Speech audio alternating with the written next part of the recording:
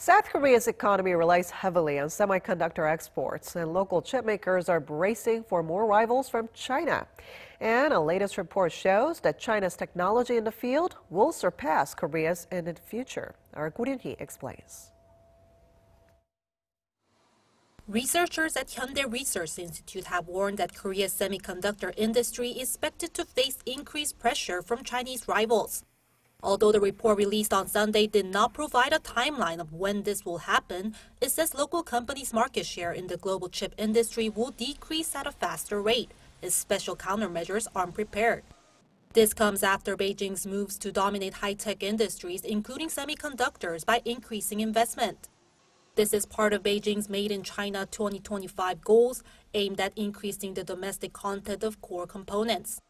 Although the movement has been hit by the US China trade war, previous plans include increasing the proportion of homemade chips so they can account for 40% of the local market by 2020 and at least 70% by 2025.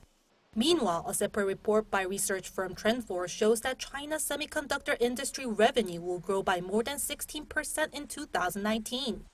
Although this marks the slowest pace in five years because of the continued trade conflicts, Reports say the local chip industry will continue to grow thanks to emerging technologies like AI, 5G, and autonomous vehicles. Ko Roon-hee Arirang News.